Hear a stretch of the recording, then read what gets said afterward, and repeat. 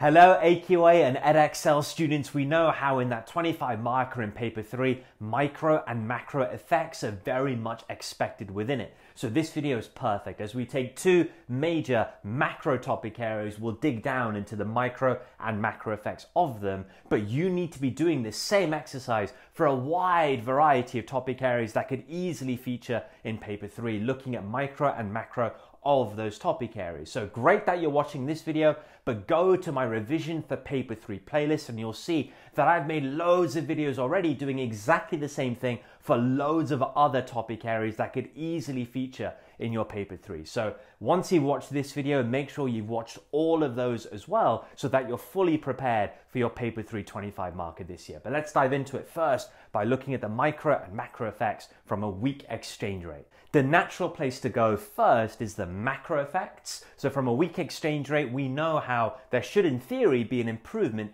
in a country's current account balance. More expensive imports, cheaper exports should improve our country's current account position. But if we go further and say as a result of that, net exports in the AD equation can rise and AD can increase, that can take us to higher economic growth. It can take us to lower unemployment, but also we can see higher demand pull inflation as AD shifts to the right. On the inflationary side, though, maybe a better way to get there is from the SRAS chain of analysis, how more expensive imports can drive up cost of production for firms who are importing their inputs, um, who then will pass that on via higher prices. That is cost push inflation. In fact, if that effect dominates, you might see lower growth and higher unemployment in the economy as well. That is stagflationary concerns from a weak exchange rate. You've also got the potential for greater FDI if a currency is weak, and that is because foreign firms who are looking to invest in a country, if that country's currency is weak, those foreign firms will have lower startup costs, but also once they've set up, they can tap into the benefits of cheaper exports. So it could just be that nudge for foreign firms to invest in a country where their currency is weak. And that's good news for economic growth, it's good news for employment, higher tax revenues, skills, technology transfers, plenty of places for you to go from there. On the micro side, we can worry about the impacts of higher prices generally on consumers and on firms. You can worry about higher cost of production that firms are facing. What does that mean for their profitability? You can go down that route. You can worry about firms who have got debts in foreign currency. A weak exchange rate makes servicing those debts far more expensive. A different route would be maybe to talk about how investment back into the firm might be reduced as a result of that. And then you can worry about the potential inefficiency of domestic firms if a currency is weak. Specifically, this will be productive and X inefficiency. Firms allowing costs to rise because of complacency. Now, think of this if you're an exporting firm, you're naturally seeing the benefits of cheaper exports because your currency is weak. You've done nothing to deserve that. That's just happening naturally as a benefit to you. But also, if you're a firm where a major competitor, let's say, are imports, well, now imports are more expensive with a weak exchange rate. Again, a lovely natural benefit to you without you doing anything to deserve it. So, these natural automatic benefits, especially if an exchange rate is weak for a prolonged period of time, can create complacency, inefficiency, costs rise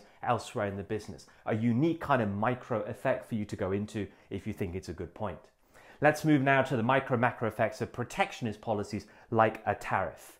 Well, on the micro side, just think about your tariff diagram. The diagram there will give you loads of very easy micro effects. We can see on the diagram, can't we, that prices go up with a tariff. You can worry about the impact on consumers and firms as a result of that. Same with lower quantity overall in the market as a result of policies like this. Again, a negative impact on consumer choice, but also producer choice. You could then look at producer revenue, whether domestic producer revenue that goes up with a tariff or foreign producer revenue that comes down with a tariff.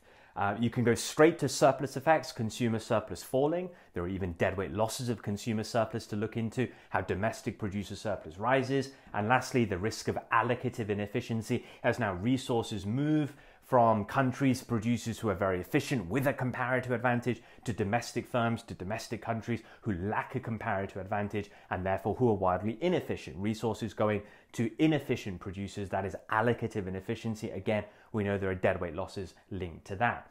On the macro side, we know policies like a tariff can generate government revenue, revenue that can be used to run down budget deficits, run down national debt, revenue that can be used to fund key government expenditures on certain areas in the economy. Tariffs can be inflationary for firms who are importing goods. They're going to see a rise in their cost of production. The link to SRAS shifting left and there being higher cost push inflation is there for you. In theory, a country's current account balance could improve with protectionist measures like a tariff. By constraining import expenditure, there's your link to current account improvement. Go one stage further, ceteris paribus. So, assuming that export revenue stays the same, there is a link to higher net exports in the AD equation, higher AD, higher growth, lower unemployment as a result of that. That's a little bit of a stretch, but in theory, nothing wrong uh, in you saying that. A more direct link to employment, though, is saying how policies like a tariff that encourage greater domestic output can protect against unemployment, and because labor is a derived demand, maybe even create greater employment. So there you have it, guys. Micro macro effects of two big macro topic areas. Hopefully, you saw how easy that is. Again, it's all about content knowledge, really, isn't it? But your job is to do that for a wide variety of topic areas. But as I said at the start, luckily for you, I've done it all for you. In my revision for paper three playlist, you will see lots of other videos, me doing exactly the same thing for other topic areas in the course. So having watched this, make sure you're staying up to date with future releases, but you're watching all of those videos as well. I can't stress enough how important that is. So go check those out as well. I can't wait to see you in future videos. Thank you for watching this one. Thank you.